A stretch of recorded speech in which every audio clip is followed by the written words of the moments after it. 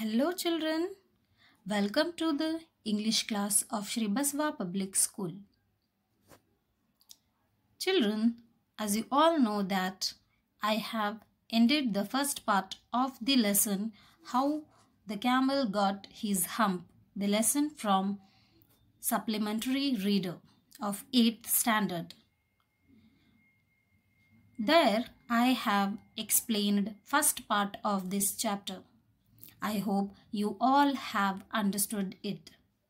So now in this video I am going to start the new chapter, the new part of the explanation from the same chapter. And the contents are remonstrated with the camel. Meaning of this content is Jinn went to talk with the camel. Next, camel's back grew a lump camel's back started to grow longer and longer. Next, third one is assurance of Jinn. What Jinn has told to the camel. These topics we are going to explore in the second part. This video is going to be second part explanation of the chapter the how the camel got his hump. Let's move for the next page. That is the list of words. First word is remonstrated. Meaning of the word is take issue, lump, wedge, hindrance, barrier, idleness, laziness, puffing, blow up, purpose, intention. These are the words which you are supposed to write in your classwork. So take screenshot of this page.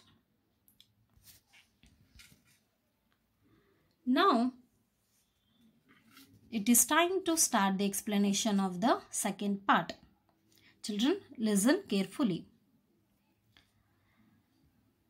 The jinn rolled himself up in his dust cloak and took a walk across the desert and found the camel looking at his own reflection in a pool of water.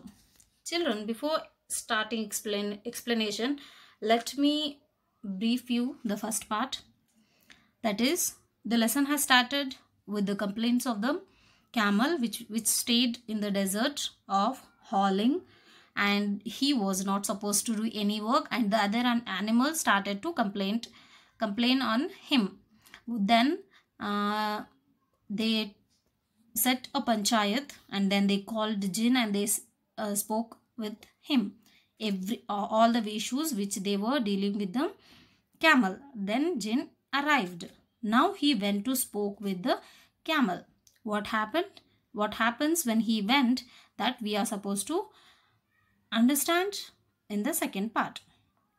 Now the first para is saying here when jinn listened all the complaints of the camel with the other animals like ox dog and horse because they were doing the work and he was sitting very uh, very calmly and he was eating all the day and sitting and taking the rest. But this has been not tolerated by them. So they went and they complained. So uh, jinn listened all the complaints and now he assured them that he is going to solve this one.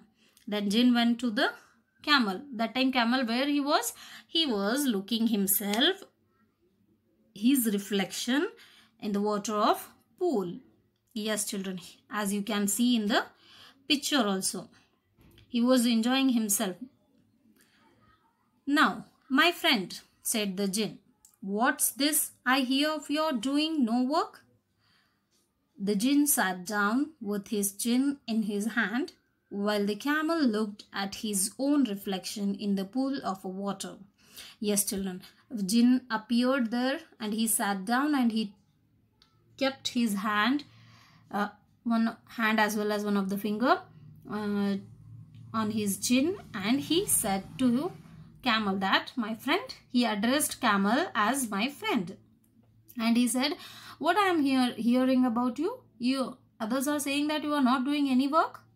Then he sat down and he uh, he saw that after listening also, the camel was enjoying himself by seeing his reflection in the pool water.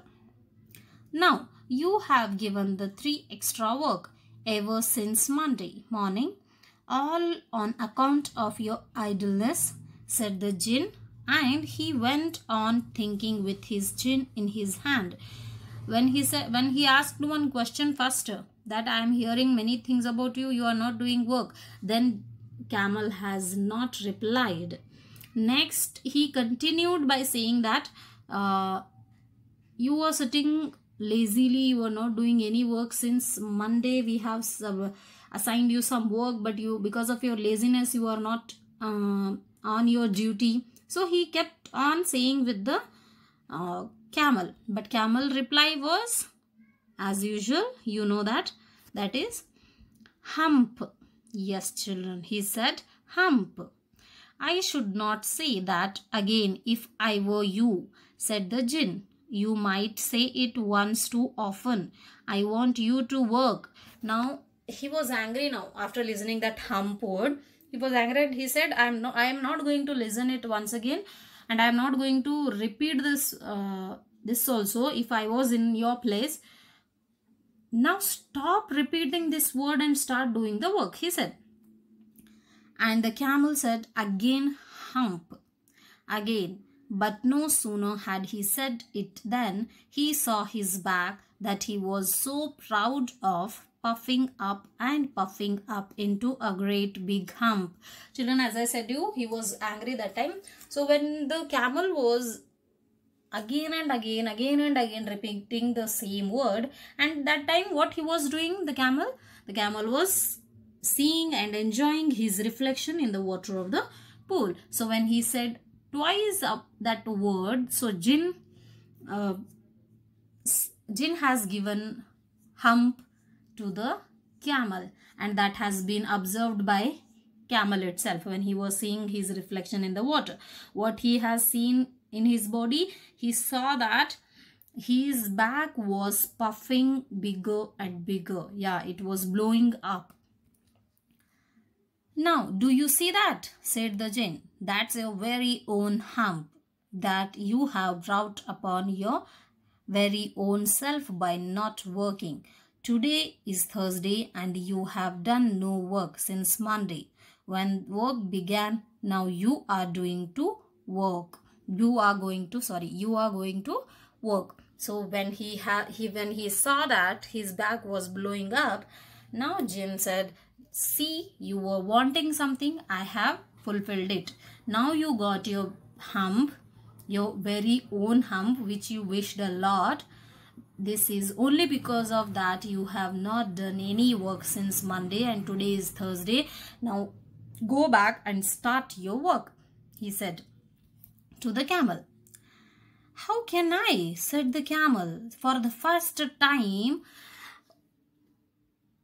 uh, for the first time, Camel said other words. Yes, children, till here he was saying only one word, that is hump.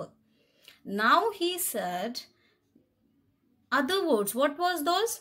What were those? Those are, how can I? Yeah, he asked him, how can I start the work? With this hump on my back? Those three days you will be able to work now for three days without eating because you can live on your hump and don't you ever say I never did anything for you.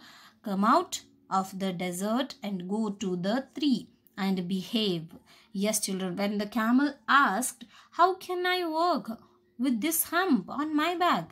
Then Jinn replied, Yes, you have to work now. That is that that has the um, purpose, it has the intention. You did not work for three days so now this hump is going to be helpful for you to know to work continuously three days without eating anything. Yes children. And he said now go come out from this desert. Go to those three uh, three animals and join join them and start doing work with them and behave yourself he said and also he added here that and don't ever say that I have not done anything to you or I have not given anything to you. Now, and the camel went away to join the tree and from that day to this, the camel always wears a hump. We call it hump. Now, not to hurt his feelings, but he has never yet caught up with the three day three days that he missed at the beginning of the world and he has never yet learned how to behave children last para is very beautiful uh, after saying after uh, after getting the order from the jinn he went away with that hump on his back. And from that day to this day we are calling that part of the uh, that part of body of camel as hump itself but not hump which camel was pronouncing. Now from that day to this day still camel has not learned how to behave and how to work and this is the problem of all camels and here the story shows the behavior of camel and idleness of the camel I hope you all have understood this explanation. Very soon I am going to send the question and answers of this chapter. Thank you children for watching this video. If you have any doubts, you can ask me your doubt by sending your message. Once again, thank you so much. Goodbye. Take care.